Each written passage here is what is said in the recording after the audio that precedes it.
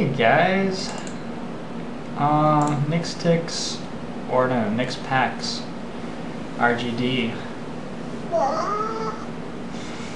So, got myself a friend.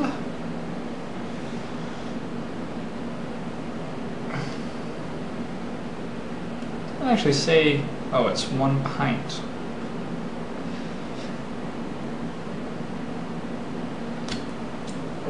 At 11% alcohol, that would be 0.11 pints of alcohol. So I'm not quite, um, I don't know how much a pint is, 650 milliliters. I do know how much a pint is because it's said on the bottle. Anyway, it's been a while since I did one of these with the camera. I figured it should be one when I was drunk.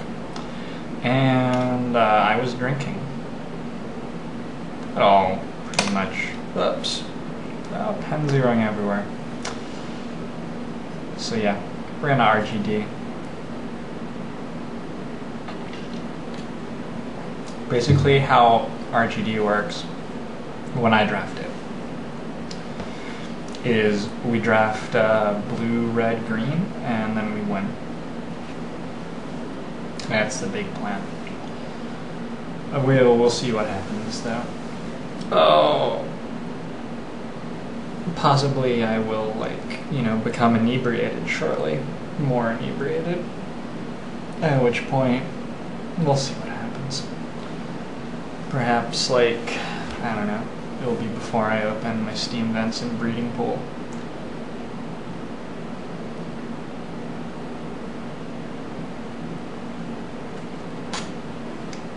This is a uh, accidental and for alcoholism. Actually, I drink much less than my videos would imply.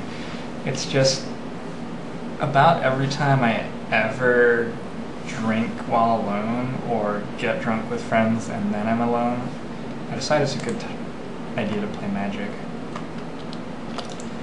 Uh, Fangtail seems like a thing. We can transmute Grozoth for any 9 casting cost thing. Wow. Uh,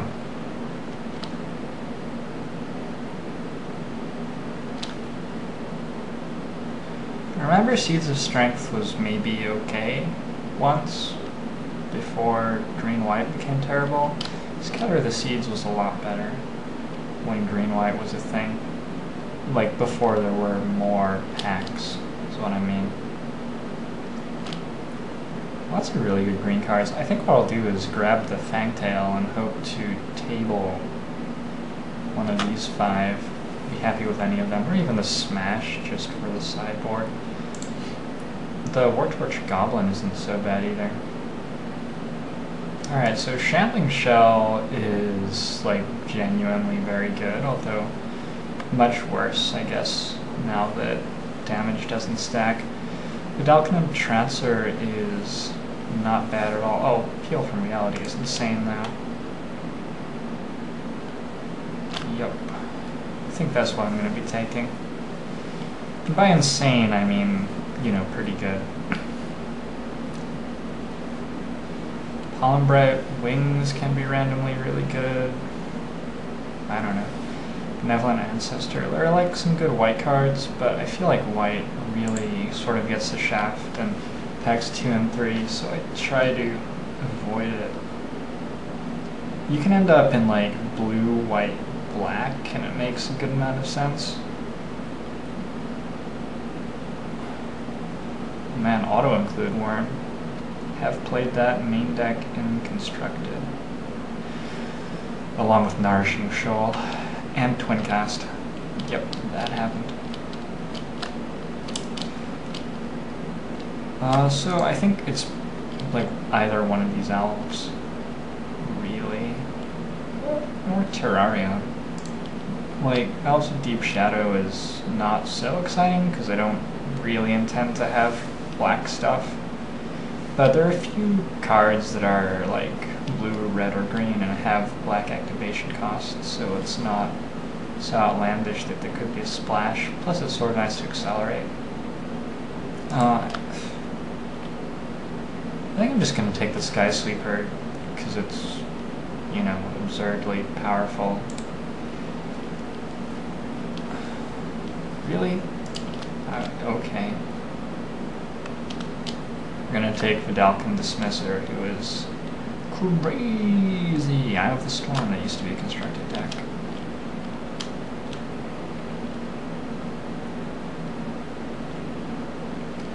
Congregation at Dawn is a super good card. But if you can cast it, your deck probably sort of sucks.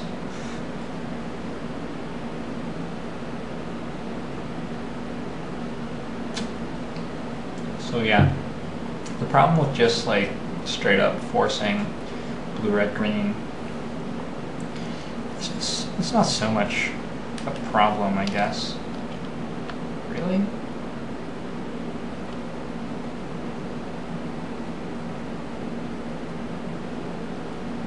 Actually, like, isn't that just crazy good? Um,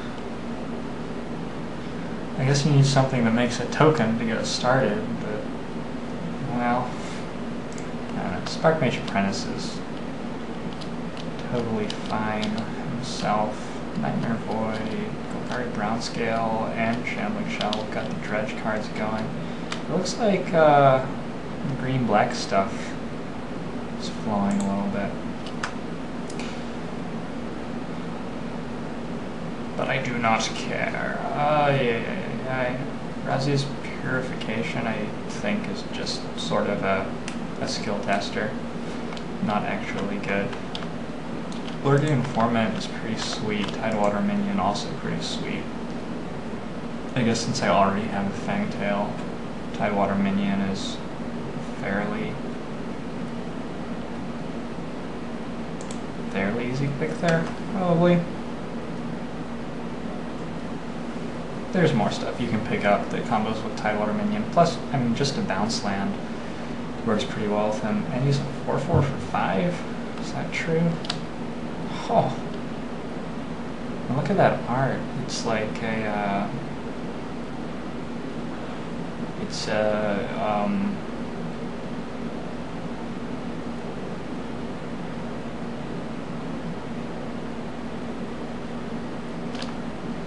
it's a uh, Tidewater minion,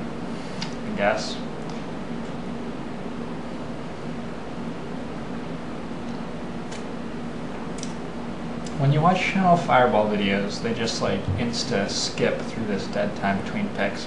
I really feel like, you know, it it adds something to the video to get to build up a rapport with my viewers while my opponents are being extremely slow. This sort of seems like it should be good, right? 4-4 flying creature if I cast a creature spell. Usually you have quite a few creature spells in your deck. Heard that about creature spells. 4-4 flyers are, yeah, they're, they're quite large. Wait, Stinkweed Imp? Hold on. Hold on. We're gonna have to audible a little bit because uh, we're not we're not gonna pass big stinks that's for sure. Uh, like, my deck's no longer going to work at all. Because the green cards are so good. Like, I probably want to be blue, black, red if I'm gonna just jump into red randomly. Which maybe I am. Uh, jump into black randomly, I mean.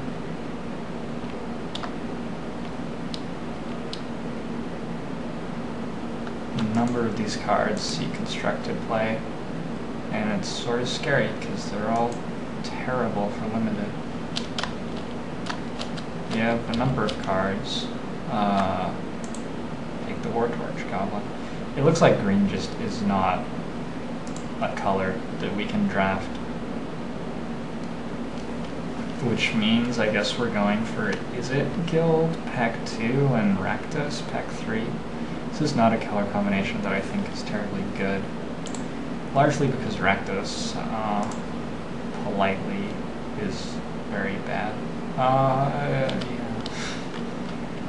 We could draft a just all-in aggro deck. We already have Stinkweed Imp, he's a 1-2 flyer.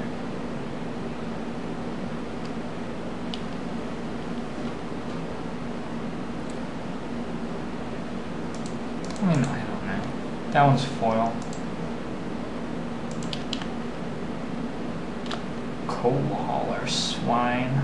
There are actually worse cards, believe it or not. I think I'm gonna take smash though for the sideboard. Hey, dogpile.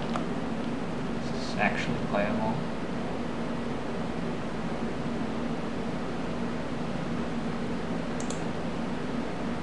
Sort of. uh,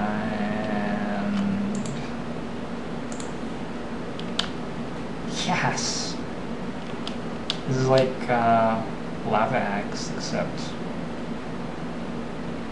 as a zombie. Skarrgan Firebird. Uh, I'm probably gonna take that, let's see. Oh. Had to make it difficult. There's a bunch of good stuff here. Let's let's actually read this. It is a 6-6 flyer for 6. Has other abilities. I, I mean, well, Gruul Guildmage is really good. Like, very, very good. So is the Ogre. The Chronarch is, is not even in contention here, really, I don't think, even though it gets crazy with Peel from Reality.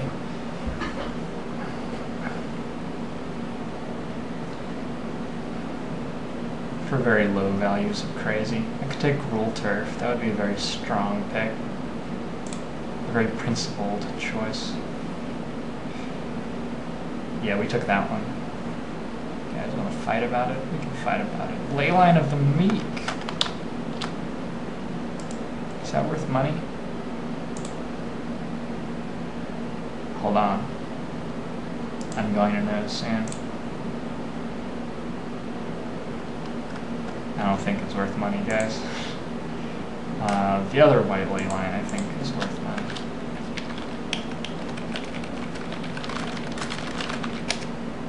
I don't think it's actually worth that. What? It's worth five tickets. Why? that that's just silly. Okay, well I guess I'll take. It's probably only four tickets selling, maybe even three, but I will still take it. I'm sad that I don't get my Izzet Boilerworks. Yes! Alright. Uh, Repeal is here. Repeal is crazy good. It's not actually that crazy. Certainly not that crazy, if you know what I mean. Okay, there's an Izzet Chronarch and an Ogre Savant. So, really don't have too much to place with the Chronarch.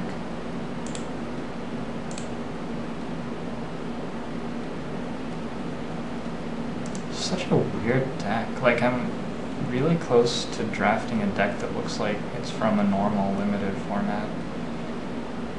Which terrifies me. I must be wrong. Flectomancer is pretty good, but I think the fact that you can actually cast Ogre Savant makes him, you know, the better pick.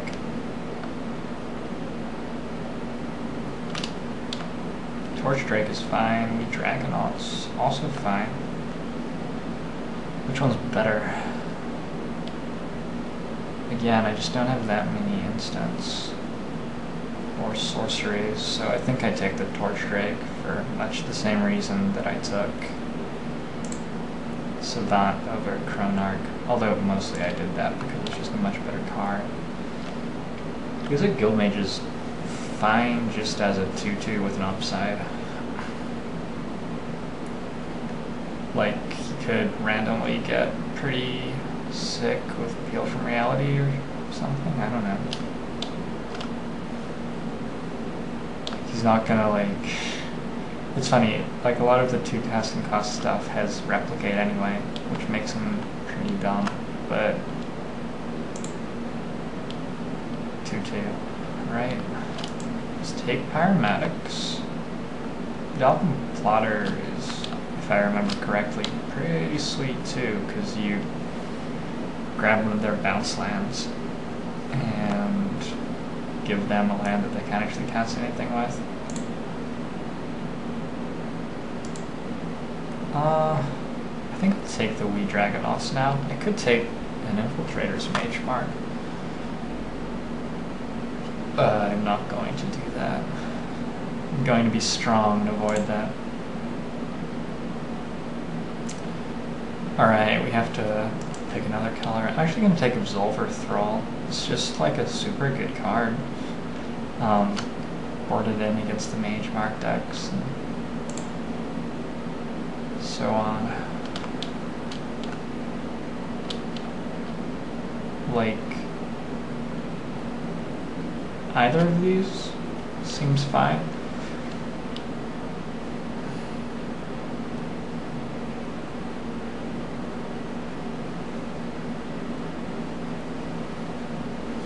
I think I need a uh, combat trick. I think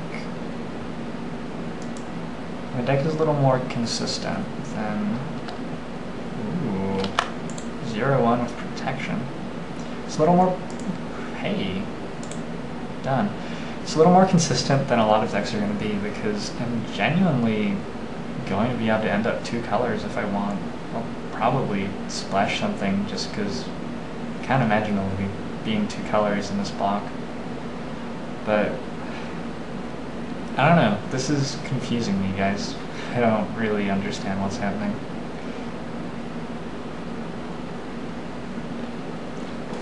Anyway, the point is, if I'm two colors, I should get more consistent openings. And I actually sort of have a curve, so nobody's drafting the mage marks. Good work, people. Hey. Okay. Should have taken train of thought.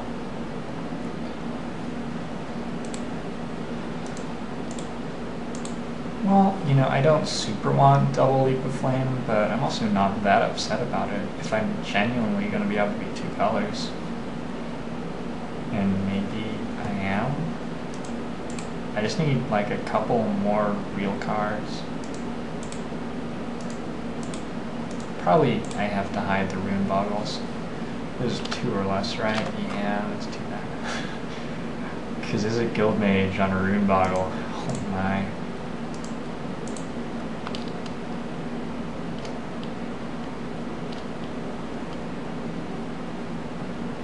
I mean, that's a deck. Minus three cards, but yeah.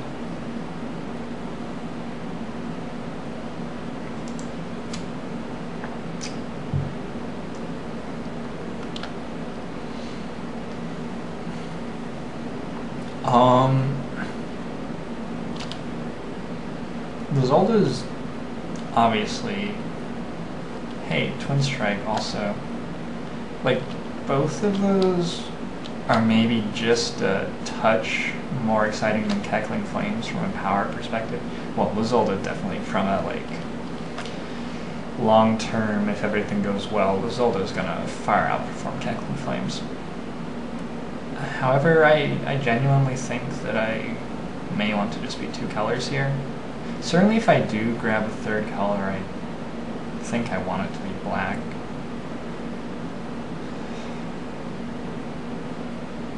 Well, I don't know, it might be white.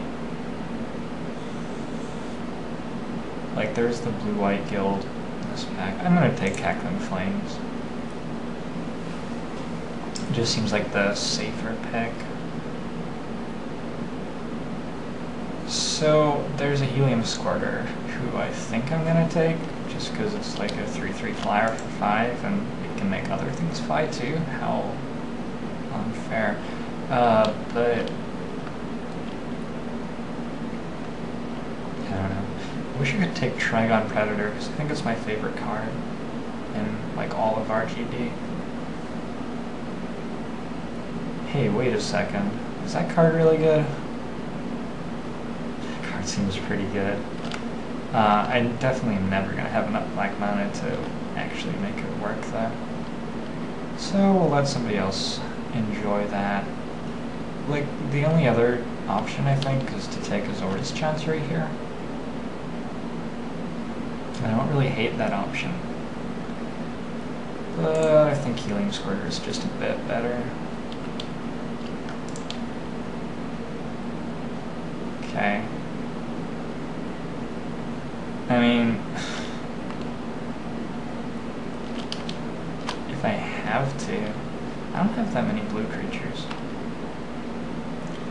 It looks like I have to play the white cards though. Because that's a, a 4 power flyer for 5, and it actually, like, it turns out it has a good ability, which is weird, I know, but they printed that, I guess.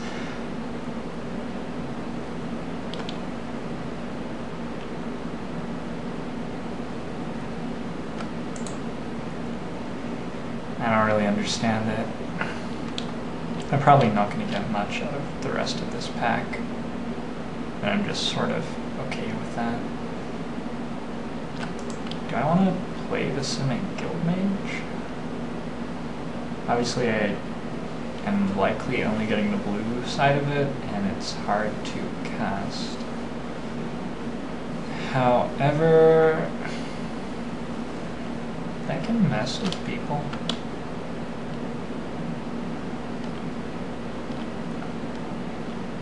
right? This guy's totally fine, but I'm concerned that I can't ever cast him.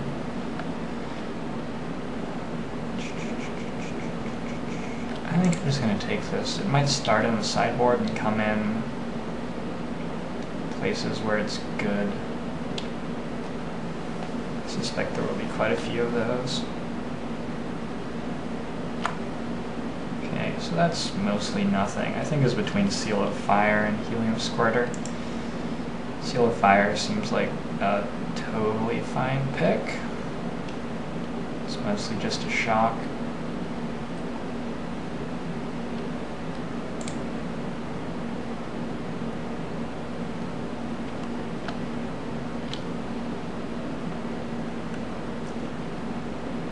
Uh, have like seven-ish, eight-ish.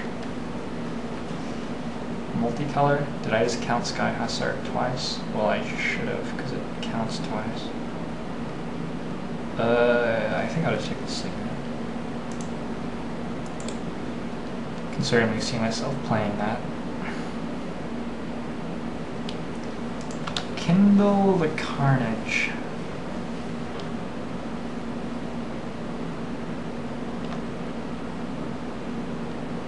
I mean, like, do I have anything with big butt?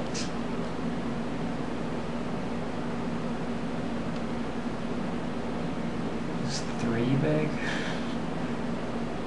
Not terribly, is it? Well, it's late. It's not like there's a whole lot else in the pack.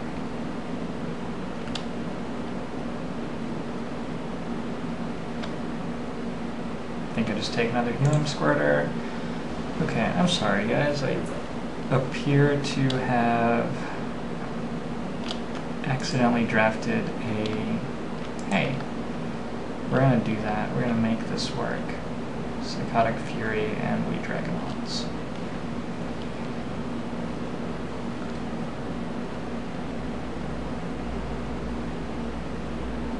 Yeah, I appear to have drafted a two-color deck.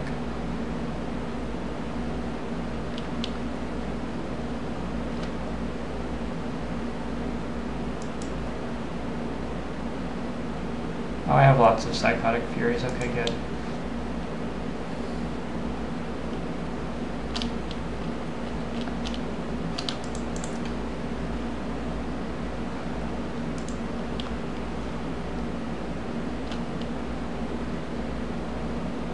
We can make Wee Dragonauts unblockable. We don't really have anything that like hits people and makes stuff happen. So it's not a super exciting rite of passage. But I'll take it. Shielding Plax is fine. Like I don't really think I'll need it, but I can play it as a 23rd card and not mind, certainly. Okay. We did stuff. I forgot to get really drunk.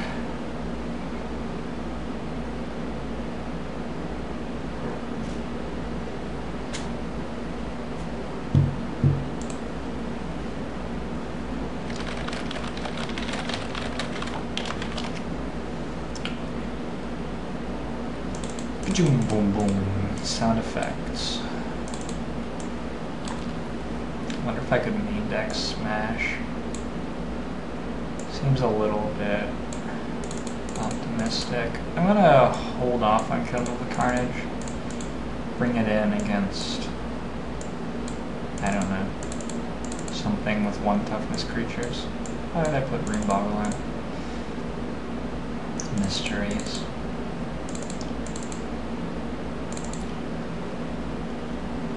Appeal from Reality plus Vedalken Dismisser. Sort of dumb. I mean, that's already 17 cards. 20. 22. So I definitely don't have to play any white. I sort of have it for free though. Let's look at blue creatures, which I have.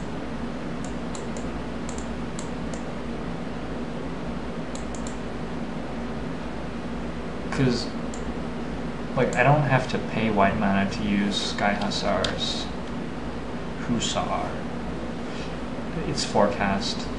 Uh, I just have to tap two blue creatures I control.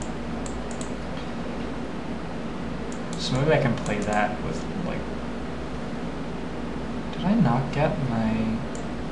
Oh, I did. Get my Absolver Thrall, good.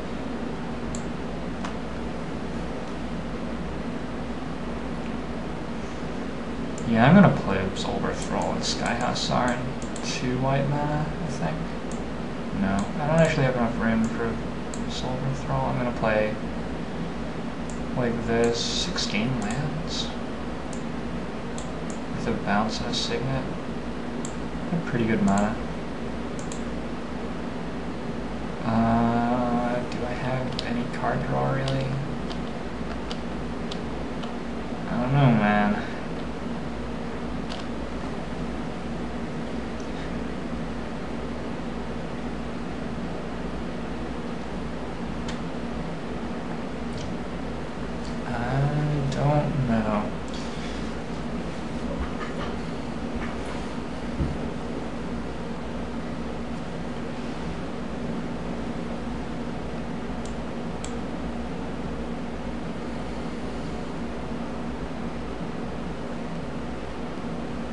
so excited to send giant creatures to the skies with helium squirters. I think maybe I should drop a muddle the mixture. Well, late game it grabs pyromatics, early game could grab a spark mage apprentice. I should probably take a train of thought over leap of flame. That would have been a good idea given that I already had that in my pile, and Train of Thought is like a much more powerful thing to be able to grab later on. Is it? Actually, Leap of Flame gives flying, does it? Flying and First Strike. Yeah, okay, whatever. Leap of Flame will be fine. I'm just to drop the white completely to maximize Leap of Flame, Flectomancer. Being able to cast it, that is, as a guild mage yeah, let's let's rock this joint. Eight eight, just straight up. I think so. Okay. Well, this has been odd. I yeah, we'll see you for round one.